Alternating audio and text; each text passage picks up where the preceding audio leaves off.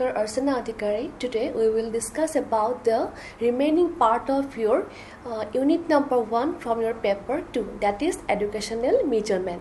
So in the last discussion we have discussed about the concept of measurement, what is educational measurement, what are its characteristics, its types and different functions of educational measurement. So today we will discuss about the scales of measurements, its meaning, classification of scales of measurement, different scales of measurement, and what are the similarities and dissimilarities among these scales of measurement. And at last, we will summarize the all the whole chapter. So let's start. So measurement in the field of measurement we have to apply some scales. So in future or in the further semester you will have some statistical part and there you have to apply some scales some tests so for this you have to be clear with the term scales of measurement if you are clear with the scales of measurement it will be uh, it will be very easy for you to apply these scales in different kinds of statistics that will be applied in the field of education and psychology. So first of all we have to be clear about what is scales. So it refers to the ways in which numbers are defined and categorized. We know that in measurement we have to categorize the numbers or the values. So we have to make we have to give some we have to assign some value to in terms of the number. So when we refer when we use or assign some measurement, some number in terms of some categorization, it implies the scales of measurement. Each scale of measurement has certain properties or attributes which determine its applicability in certain mathematical or statistical analysis. I have already mentioned you that these scales will be applied in the field of statistics or, or in the field of measurement. So all the scales what we will discuss discuss it have its own own uh, characteristics. So on the basis of the properties and attributes, we will determine it, we will classify it and as per norms, we will apply it. So scales of measurement which are also known as level of measurement. So, so you, you, you have to remember that these scales of measurement are also known as levels of measurement. So these are the classification that uh, describe the nature of the information within the numbers assigned to variable. So in the field of education and psychology, under the scope of measurement, you will come across lots of variable and information. So we have to classify that and with the help of the level or what we call its scale of measurement, we can get its appropriate nature. So now we have to know about the types of scales or what are the scales that are used in the field of measurement. So we all must remind this name, Stanley Smith Stevens. So he was the director of the psychoacoustic laboratory in Harvard University and he developed he classified the scales of measurement into four categories and these scales are nominal, ordinal, interval and ratio. We all must be clear with these four scales of measurement that the first one is nominal, second one is ordinal, third one is interval and the fourth one is ratio.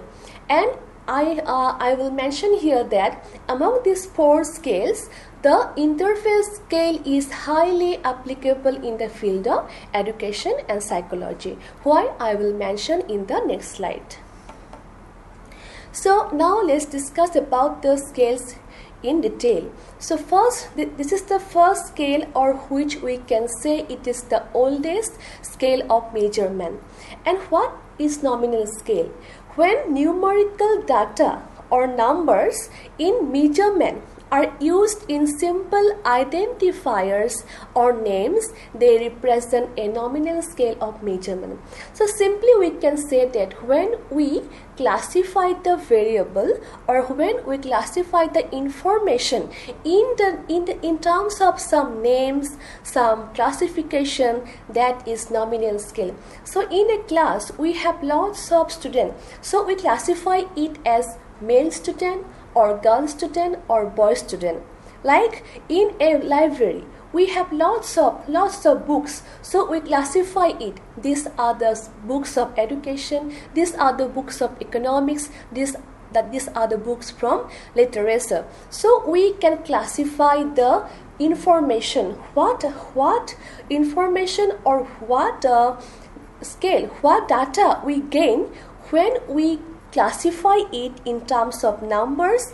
In terms of some categories they are called as nominal scale. So in our day-to-day -day life in our day-to-day -day activities we basically use this kind of scale.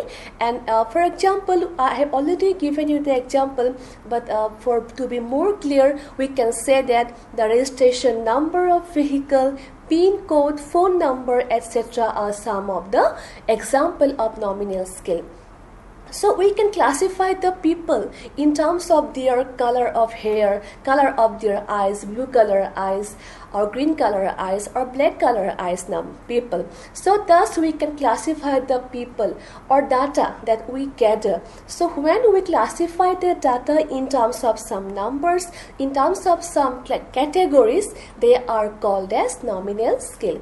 So this is the lowest level of scale and therefore it is considered as the lower scale of measurement.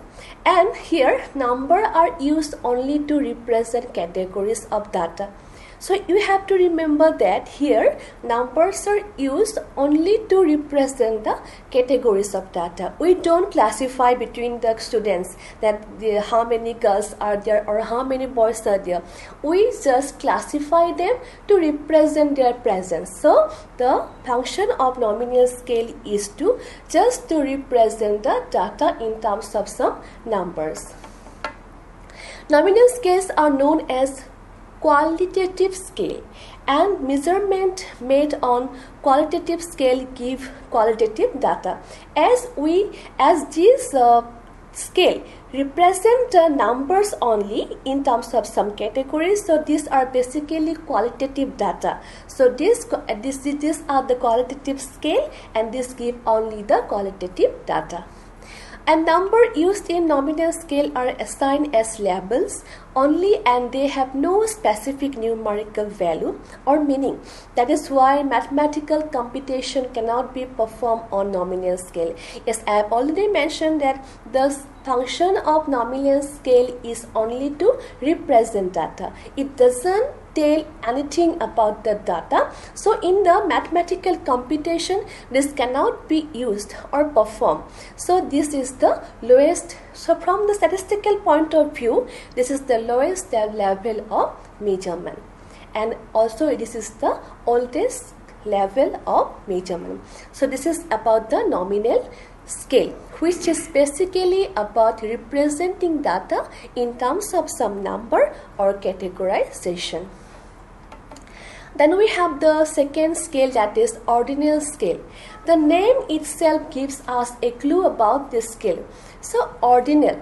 So when numbers used in measurement represent an ordered series of relationship or rank order, they represent an ordinal scale of measurement. So while in the classroom or in a school we have lots of students or children but we can get some data regarding their order of their achievement. Some are the higher, higher, uh, higher, higher achiever, some are lower, middle achiever, some are lower achiever. So on the basis of this achievement, we classify them as rule number one, rule number two, rule number three, or first class, second class, or third class, like that. So Ordinal scale implies representing data in terms of order. Okay, in terms of order, it represents the order difference between the two children. So student ranked in a class as a first, second or third represent the ordinal data. So simply it represents the data in terms of order. Thus ordinal scale gives information about the rank or order of the measure.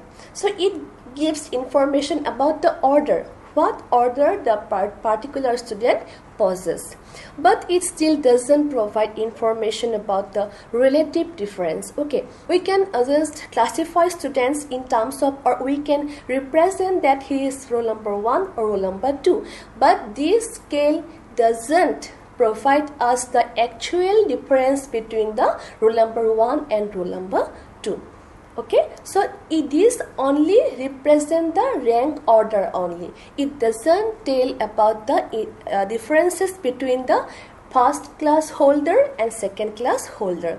It just represent the order. First second third like this so this is about the ordinal scale of measurement. Then we have the third scale of measurement which I have already mentioned that this is the scale which is highly applicable in the field of measurement uh, in the in the field of basically in the field of education and psychology. So what is interval scale? The name itself is interval. So it, it represents quantitative an equal difference between successive interval on a scale in addition to the information about the order. Thus what? This scale uh, gives us information about the order first and second as well as it gives us the exact or equal difference between the order means it gives us it tells us about the interval it tells us about the interval and therefore this is interval scale. So a vivid example of interval scale is a temperature scale that we use to measure the temperature of a particular person when he or she uh, gets some fever. Okay, so but one thing is here is that uh, it doesn't have a zero means uh, when we measure a particular height or weight of a person we start from the zero point. We start from the zero point. But here the interval scale doesn't have a zero point. So when a particular student uh, suppose roll number 14 he gets 40 marks or he gets 15 marks and roll number 10 gets 30 marks. So it tells us difference it the interval scale gives us the accurate or exact difference between the roll number uh, 10 and 13 but it doesn't mean that roll number 10 is to double he is double intelligence of the roll number 13 so we can say that the uh, 5 kg or 10 kg or 25 kgs these are the example of ordinal scale so it gives us the rank order. But in the field of education and psychology or in the field of behavioral science, we cannot say that if Ram gain 50, then Rahim who get 25 is double intelligent than Rahim. It, we can't say that because this is in the field of behavioral science. So, but it doesn't have a zero point. So, uh, for example, 0 degrees Celsius on a temperature scale doesn't signify absolute absence of temperature. In the field of education and psychology, we cannot define or cannot find any person that he or she is he, he or she possesses zero intelligence. No, we can't say that. But when we measure a weight or height, we start from the zero point. So suppose this this is the a this, is, is a physical object and we can start it from the zero level. But we cannot measure intelligence or what we can say personality, interest, aptitude or whatever with a zero point. So this doesn't have a zero representation and therefore this is a applied only in the behavioral science. Then we have the last scale that is ratio scale. So ratio scale means it has a true zero point. it has a two zero point which is absent in interval scale ordinal scale or what we say in the first one is nominal scale so the ratio scale of measurement represent quantitative and equal difference between interval with an absolute true zero ratio suppose we measure the temp we measure a length a height of a room then we can get the absolute absolute measurement with a equal zero point. We can we can uh, measure the length we can measure the weight so with a true zero point. So it gives us equal difference between the intervals with a with a proper zero true zero then normally physical measurements such as, as I have already told you, height, weight represent the ratio data. Such measurement invariably refer to defined quantity where units are equal and zero means absolute absence of the dimension being measured. All types of statistical measures are applicable to ratio scale.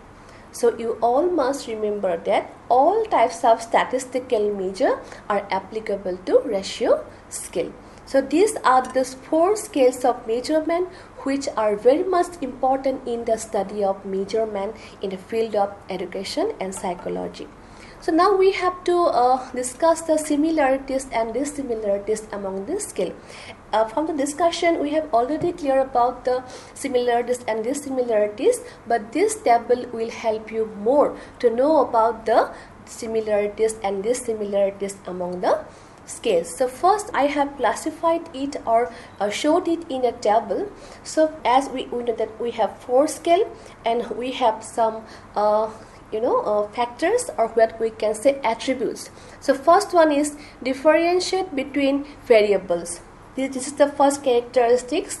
Then second one is rank or rank order. Third one is indication of difference between the measures. And fourth one is presence of absolute zero. So if we uh, determine or if we analyze all the four uh, scales first the all the four scale represent or all the four scale qualifies the first indicator or first attribute that it differentiates between the variable. All the four major scales of measurement differentiate between variable. Okay. Then regarding the rank order, except nominal scale, except nominal scale, all other third scale that are ordinal, interval and ratio gives rank order okay? Then except nominal and ordinal scale the last two interval and ratio scale indicates the degree of difference between the measures.